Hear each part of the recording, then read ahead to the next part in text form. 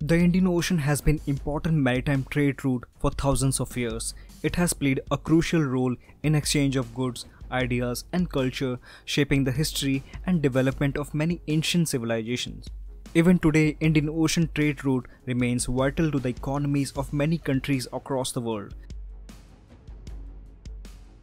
The Suez Canal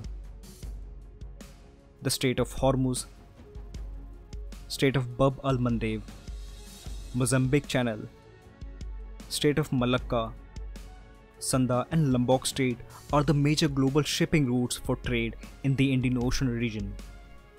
The largest country in the region, India, situated right in the center of Indian Ocean region, is the fastest growing major economy in the world. Its trade volume has steadily increased over the years.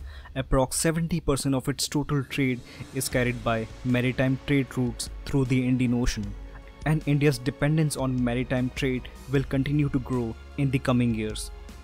Therefore, it has become very important for India to secure these vital sea lanes for trade expansion and here Indian Navy plays a pivotal role.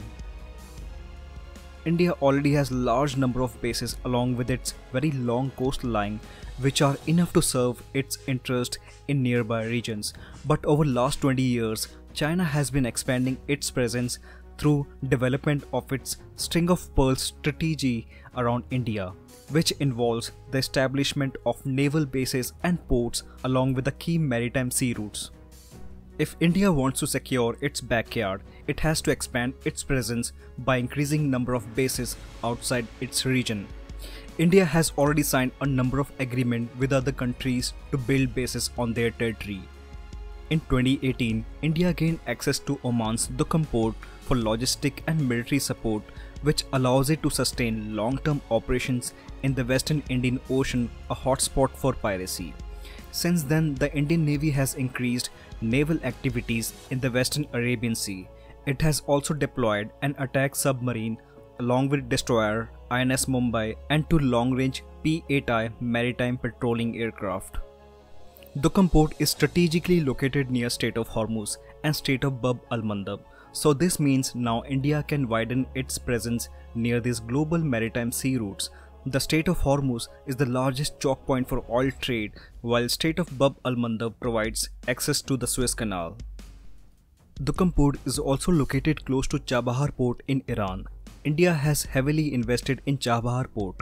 Chabahar port will serve as a gateway for India to the Central Asia, bypassing Pakistan. In future, Chabahar port will link International North-South Corridor, a 72,000 km multi-modal transport corridor that combines road, rail and maritime routes connecting St. Petersburg in Russia to Mumbai to boost trade with Europe and Central Asian countries. Chabahar port is very close to Gwadar port in Pakistan. Presently, Gwadar port as a part of CPEC project serves as China's gateway to the Middle East, bypassing Malacca. Chabahar port will be a good option for India to counter China in Gwadar. So this means with Duqm port now India can monitor on all three sides. In the southwestern of the Indian Ocean region, India is looking to set up a military base in Seychelles Assumptions Island located close to Mozambique Channel, an important shipping route for Atlantic around the southern tip of Africa between Madagascar and Southeast African coastline. With the base in Assumption Island, India can monitor Mozambique Channel and Eastern African region. India is competing with China with trade in Africa. It has emerged as one of the top 5 investors in the African region in recent years.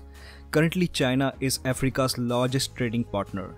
If India wants to expand its trade in the African region, then it is essential to secure maritime trade routes and due to proximity to the Eastern African region, Assumption Island would be a good option.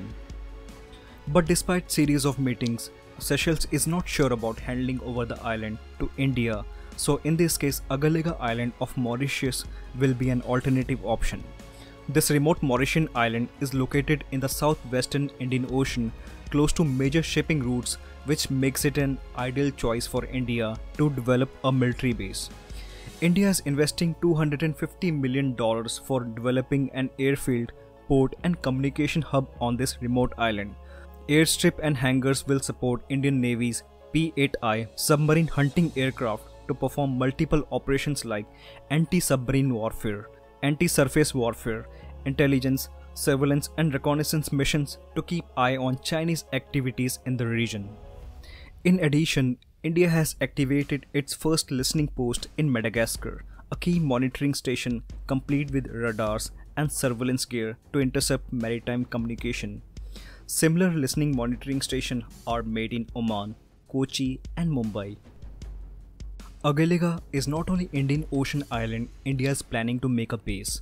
There is another island in the southeast of Indian Ocean region India is eyeing. Cocos Island of Australia is strategically located near Sunda and Lombok Strait of Indonesia, an important maritime route as an alternative to Malacca. There are high possibilities that India and Australia could sign a pact on mutual use of island and in return Australia will be able to access India's most strategic Andaman and Nicobar island situated very close to Malacca Strait. India and Australia are wary about increasing presence of Chinese submarines in their backyards. Intelligence gathering through radars with the help of these islands provide an opportunity for coordinated and joint anti-submarine warfare missions in the Indo-Pacific region. Andaman and Nicobar Islands are the group of islands in the northwest of Indian Ocean region situated very close to Malacca Strait, world's second busiest waterway for oil trade after Strait of Hormuz. Around $3.5 trillion maritime trade passes through this region annually. India's around 50% of maritime trade goes through Malacca. Hence, it is extremely important for India to secure this region. And for that, India has started investing heavily in building military infrastructure on the island. China is excessively dependent on Strait of Malacca for its trade and energy. China's two-thirds of maritime trade and 80% of oil passes through this region which makes Strait of Malacca extremely important for China's economy.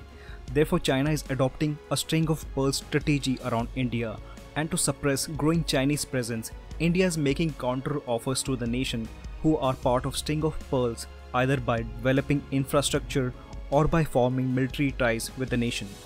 India is also collaborating and conducting multiple naval exercises with the other navies in the region for information sharing and intelligence gathering.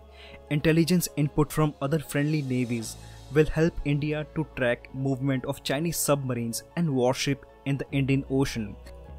India's access to foreign bases will not only strengthen India's capability to monitor vital sea lanes but also allow it to display as a dominant power in the region. It will be no surprise if India seeks new naval bases in the other areas of the Indian Ocean region in future.